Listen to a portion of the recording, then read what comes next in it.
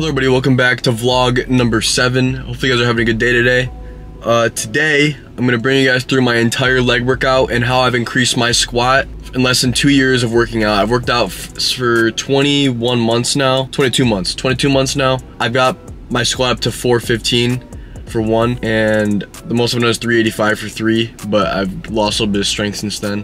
But today I'm gonna bring you guys through my heavy squats to every other workout I do. So if you guys enjoyed the video, if you guys do, make sure to leave a like, subscribe, and turn on notifications. And I'm about to head into the gym. Dude, it's it's 9.30 right now. We're about to just go in the gym. We're gonna be here for a while. All right, so here we are warming up for squats. Today, I want to do heavy squat, so I decided to do three of three.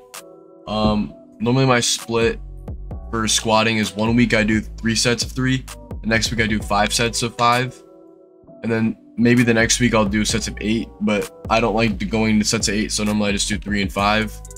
But sticking with three sets of three or five sets of five is really nice for strength gaining because you're you're staying low in your percentages. You want to be like in the 85 to 90% range when you're squatting uh, heavy heavy weights like this. Of course, you might not always be able to get three sets of what you're doing for squats.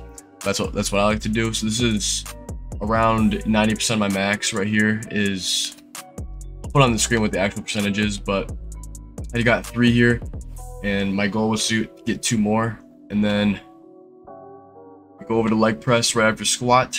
This is me doing six and a half plates. This is 708 pounds. I like doing tempo leg press because for me, uh, it breaks, it just burns a lot better. So I'd take one, two, three press and it, it ends up being a lot better for me and I end up getting a lot more sore and a lot of strength out of this. And here I'm dead. I'm just trying to get through it. This is full range of motion. This is as far back as I can go. And um, you want to do three sets to eight of leg press, of a heavy set you can get eight out of for doing tempo. You don't want to go to failure on leg press because you never want to like fail on leg press. And this is where you want to burn out. You either want to do split squats or leg extensions. For me, I did leg extensions today because my the Smith machines were taken. So for here, I do five on one leg, five on the other leg until I can't do a single leg. And then I do two legs at once. So you guys will see here, this rep takes a long time or this set takes a long time. At the end, you even get a spotter at the end. It's an option for you if you want to get a spotter at the end of your uh, set.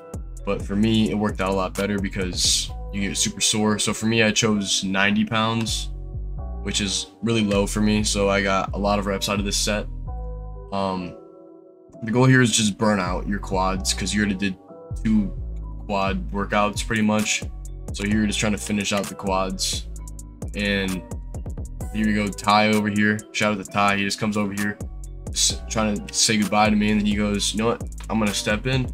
And he, he helps me get a few extra reps. You guys will see here. And it ends up working really well.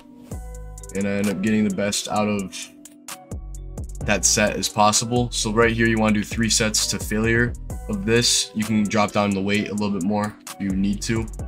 Um, yeah, I'm dead after that. I'm seriously dead.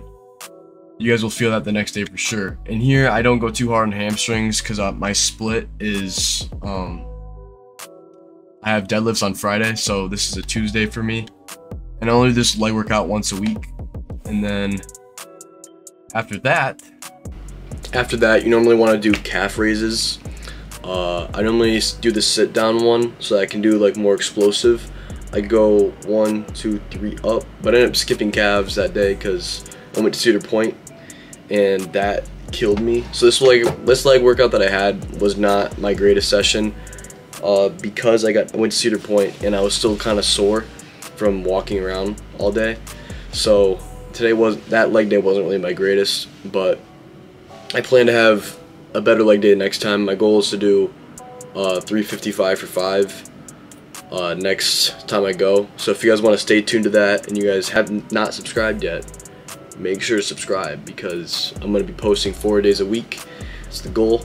But um, again, this is personal. So if you guys don't like this workout, you guys can obviously change out what workouts you guys can do.